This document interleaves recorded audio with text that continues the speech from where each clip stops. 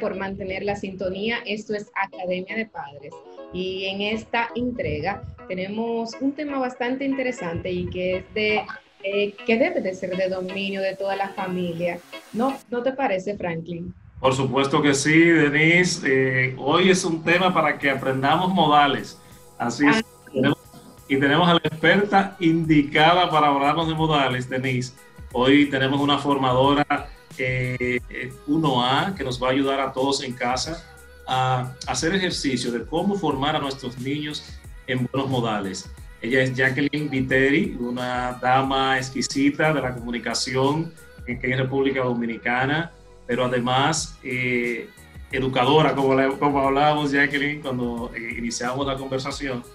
Eh, ella es fundadora de, y directora de la Escuela de Etiqueta Jacqueline Viteri, eh, conferencista de etiqueta y protocolo, eh, abogada, egresada de varias universidades, tanto nacionales como internacionales, eh, y sobre todo una mujer que es educadora. Así que bienvenida a nuestro programa Academia de Padre Jacqueline y es un placer para nosotros tenerle por acá.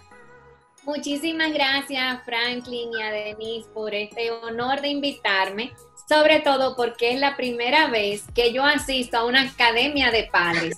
Muy curioso porque yo soy madre ya por muchos años y tú sabes que esta es una de las profesiones que nosotros aprendemos en el camino y a veces a puro, bueno, a puros eh, encontronazos, como dicen. Sin embargo, me encanta saber que existe una academia de padres que puede aportar a esa función y ese oficio tan importante para la sociedad que es educar a los hijos. Así que felicitaciones a ustedes y gracias por el honor de permitirme participar en esta academia. Muchísimas gracias. Y Jacqueline, es que propiamente buscamos personas siempre que, que, den orientación, que den formación a esta familia que va creciendo cada día. Ya familia eh, como Franklin, por ejemplo, que tiene tres niños, otros dos, uno, eh, adolescentes y algunos que están iniciando, ¿verdad? Y el placer es de nosotros tenerte aquí. Y hoy vamos a hablar un tema, como bien había comentado Franklin, eh, el valor intangible de los buenos modales en los niños. a veces tenemos nuestros hijos y dicen, bueno, aprenderán con el tiempo ellos eh, irán creciendo y ellos sabrán cómo hacer las cosas, o, yo le enseñaré luego a hacer, hacer esto. O la escuela que le enseñe, Denise.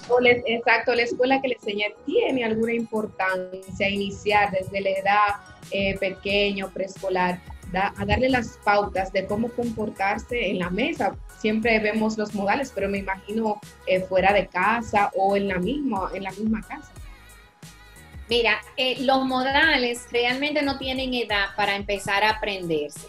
Eso lo quiero decir porque igual el que tenga niños pequeños eh, puede empezar desde hoy, pero el que también ya es adulto, que siente esa inseguridad, porque eso es lo que te, tú sientes cuando no sabes comportarte, tiene tiempo de aprender. Por fortuna existen estas escuelas de etiqueta o profesores de etiqueta que usted puede contratar y educarse en ese sentido el que tiene niños pequeños, si esos niños ya escuchan y entienden cuando usted lo llama, ya es hora de que usted le empiece a enseñar lo básico, a decir gracias, a decir por favor, a pedir las cosas. Y entonces esa es la manera de irlos a ellos incursionando en algo que le va a servir para toda la vida, porque en realidad la buena educación sirve para toda la vida. Y dicen por ahí que no hay una mejor presentación que ser bien educado. Entonces, si nosotros sabemos que ganamos con eso, vamos a enseñarle a los niños desde pequeños eso. Pero quiero decir, Denise, que educar no es decirle cómo hacer las cosas, es servir como modelo para los niños, para que ellos con ese ejemplo también aprendan. Entonces es importante que si usted se interesa en que sus hijos se sepan comportar, usted tiene que comportarse bien, porque entonces no funciona que decirle cada vez que reciba algo que le diga, ¿cómo se dice?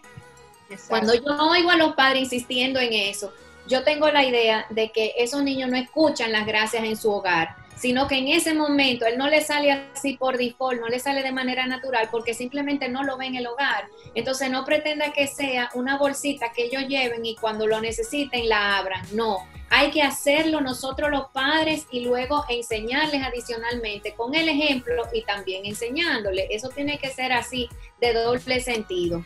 Doctora, una más segunda pregunta que tenía para ponerle sobre la mesa el cómo enseñar modales, porque nos gusta, nos encanta y nos maravillamos cuando vemos un niño o una niña bien portada, bien puesta, que sabe expresar en cada momento eh, las cosas, pero eso tiene un trabajo detrás. Entonces, ¿cómo lograr? Ya nos ha dicho usted que con el modelarles, eh, ¿qué otras herramientas podríamos tener como padres para enseñarles valores correctos a los, niños. Aprovechar escenarios que nosotros tenemos en el propio hogar. Uno de ellos es la mesa. Ustedes se sientan a comer con sus hijos. Claro, hoy día, con el afán del trabajo, el horario del trabajo, pues ya no se puede hacer con la frecuencia de antes. Pero mira, que ese antes no está muy lejos, porque ahora con la pandemia, una de las cosas en las que yo he insistido es aprovechar este momento de todos en el hogar para entonces eh, incentivar a poner en práctica los buenos modales. Si sus hijos no tienen tan buenos modales en la mesa, porque quizás no tienen ese modelo de los padres día a día, entonces ahora sí aproveche con ellos en la mesa y enséñelos a ellos a comer correctamente. Pero la mesa no es solamente para comer, ojo con eso, la mesa también es para compartir. Y quiero hacer ese aparte y ese hincapié, Franklin, porque he notado cuando voy a lugares a comer, como a los restaurantes, que los padres no dejan la tableta, no dejan el celular para que sirva de entretención en esa mesa. Entonces, si usted lleva eso, ¿cuál fue el propósito de que fueran a comer? Porque la mesa es compartir y hay que enseñarle a los niños desde pequeños que a la mesa se va a comer y a compartir. Nosotros sabemos que los niños por ser pequeños se, se, cansan y llega un momento en que se quieren parar y quieren correr, eso lo sabemos. Oye, pero eso hay que pasarlo, así como pasaron los padres de nosotros, detrás de nosotros corriendo, eso hay que hacerlo también. No sientan, ah, no, mira, ahí tú tienes ya tu tableta, ya, entretente que papá y mamá vamos a conversar. No, es que si el niño está en la mesa, usted tiene que hablar de algo que el niño se puede incorporar a esa conversación. O lo que es mejor, importantícelo y, el, el, tema que lo proponga el niño y sáquele a él, a ver, cuéntame cómo te ve en la escuela, qué hiciste hoy, quiénes son tus amiguitos, cuáles son los planes, cuáles son las tareas, para que él se sienta, wow, él es el que trae el tema a la mesa y entonces bájense ustedes a su nivel, porque así también le enseñamos a ellos a hablar correctamente. Puede ser que ese niño hable con muletillas y usted no se las ha corregido porque usted no lo escucha a él hablar las muletillas son eso que nosotros escuchamos tantos en el colegio. Eh, eh, entonces, pero escuchándolo hablar, usted le va enseñando que no se dice así. Puede ser que quizá tenga un acento muy marcado, como es, a veces pasa con la juventud, que nosotros es por temporada, que tenemos unos acentos diferentes y eso. Entonces le vamos a a neutralizar esos acentos. Pero eso lo podemos aprovechar en una mesa. Entonces vamos a aprovechar ese escenario y cada escenario se puede aprovechar cuando se sientan a ver una, película también, enseñarle que hay que respetar cuando alguien está viendo a alguien en la televisión, no lo interrumpa. O sea, hay muchos escenarios que pueden servir para educar a los hijos. ¿Cuáles son, o podríamos decir, eh, Jacqueline, las los modales básicos que debe de saber un niño dependiendo de su edad, eh, para tú saber por ejemplo, yo no soy una mamá que conoce cómo deben de ir eh, los tenedores o, la cuchara en la mesa, o no sé cuál es la manera correcta de, vestirme para ir a algunos lugares como la iglesia, pero debo de eh, informarle de cosas básicas, qué cosas, qué, qué, modales básicos debe de tener mi hijo a cierta edad para yo ir eh, como educándolo en ese aspecto. Mira, lo primero que tenemos que enseñarle hay que hay tres principios básicos en la educación y de ahí se deriva todo. Esos son el respeto, la consideración y la honestidad. Entonces, en base a eso, vamos enseñándole otra cosa. El respeto, ¿por qué? Porque hay que respetar a los demás. Eso implica respetar los espacios, respetar la diversidad. Nosotros todos no somos iguales, tenemos diferentes edades, somos de diferentes razas, diferentes religiones. Todo eso hay que respetarlo. Entonces, hay que enseñarle eso desde muy pequeño, a considerar. Usted tiene que considerar a los demás en función de, de lo que sea. Hay que considerar, hay que ser honesto, usted tiene que aprender a ser honesto, aunque usted tenga consecuencias derivadas de esa honestidad. Pero también inclusive hay formas de enseñar cuál pudiera ser un método de usted ser honesto de manera positiva. Y digo eso porque hay personas que dicen, yo soy honesto y yo todo lo digo. Si a ti te gusta, te gustó y si no, no. No, no podemos ir arrasando de esa manera. También tenemos que tener una dosis de diplomacia. Ok, mijo, tu abuela te invitó a comer hoy. ¿verdad? Tu abuela se pasó cocinando. Cuando te sientas a la mesa, no te comiste las espinacas. La abuela viene y se te acerca, mijo, ¿y qué pasó con las espinacas? No le diga, mamá, a mí no me gustan las espinacas. No, tú le puedes decir, ay, abuela, tú sabes que las espinacas no son mi plato favorito. Sin embargo, ese pollo que tú hiciste, ese es el mejor pollo del mundo. Me encantó.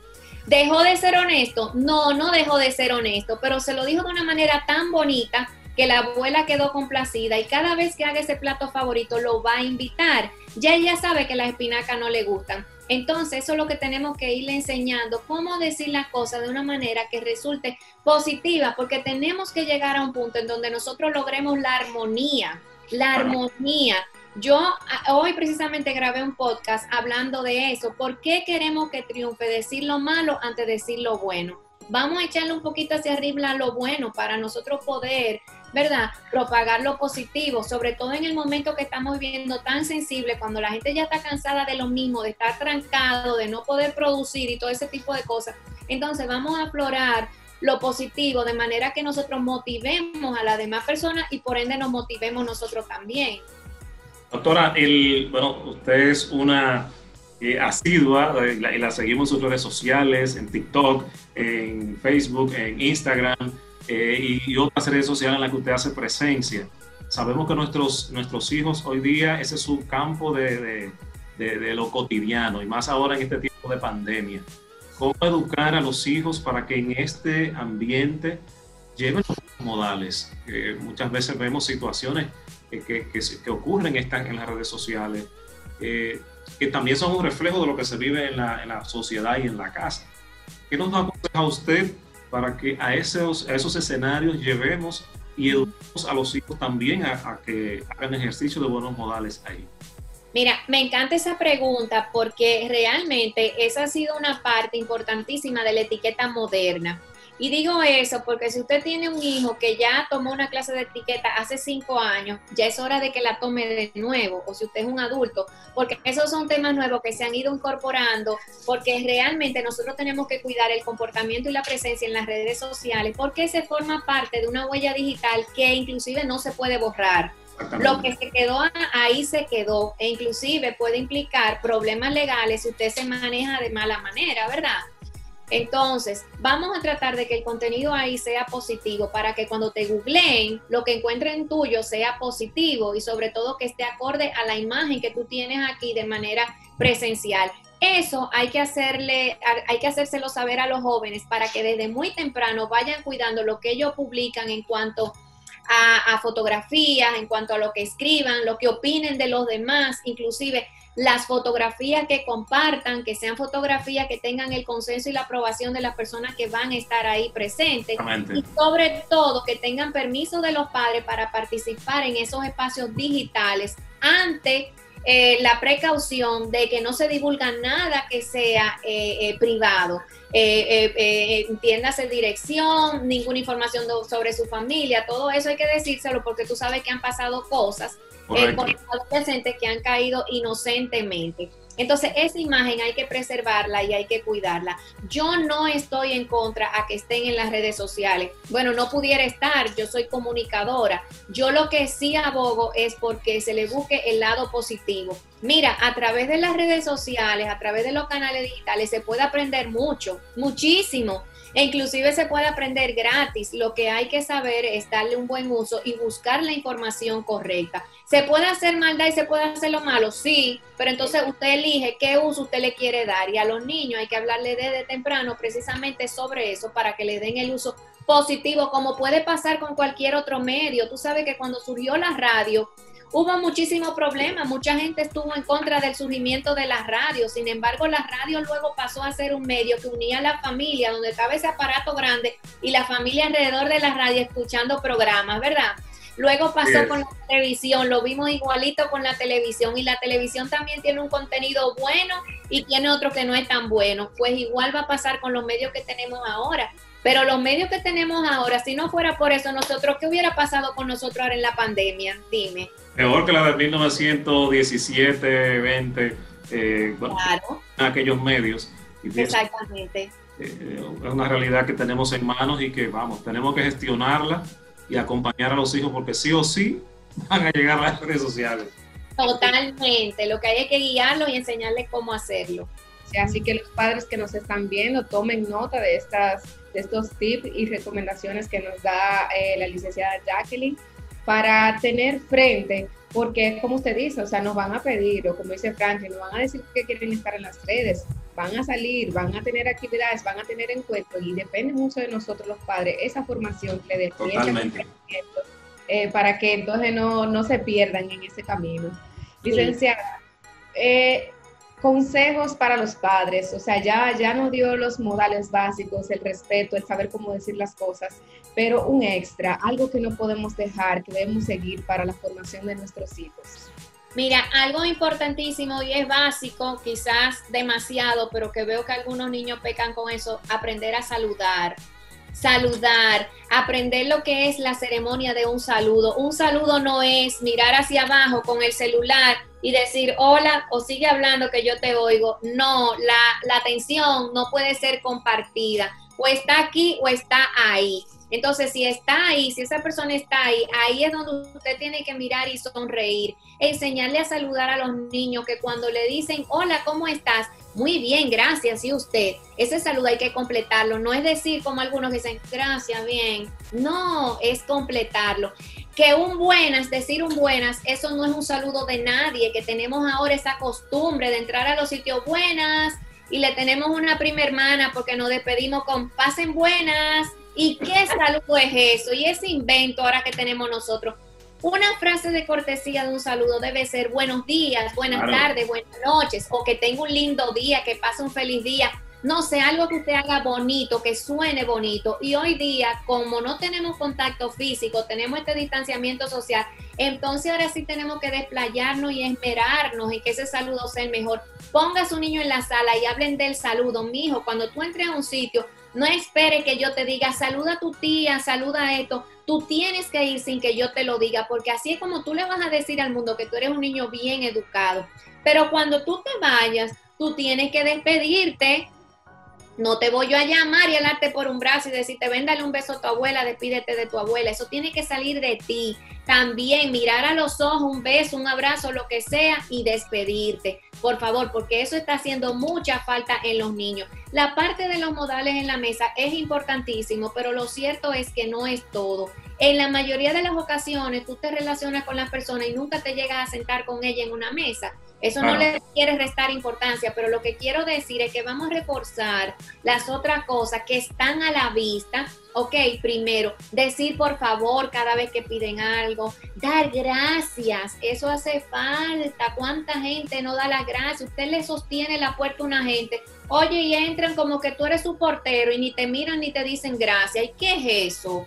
Hay que aprender a decir gracias, a pedir por favor. Ay, disculpe, me equivoqué. Eh, eh, no me di cuenta que aquí había una fila, déjeme ir para atrás o le choqué. Eso hay que retomarlo, pero hay que enseñárselo a los niños para que tengamos una generación que les salga, como ellos mismos dicen, por default. Entonces, Denise, eso es lo que yo propongo. Vamos a empezar por las cosas básicas que hacen mucha falta. Ceder el paso, pero ceder el paso con cortesía Vamos a empezar a enseñarle. Ceder el paso no es cuando usted se para en el carro y le hace de qué.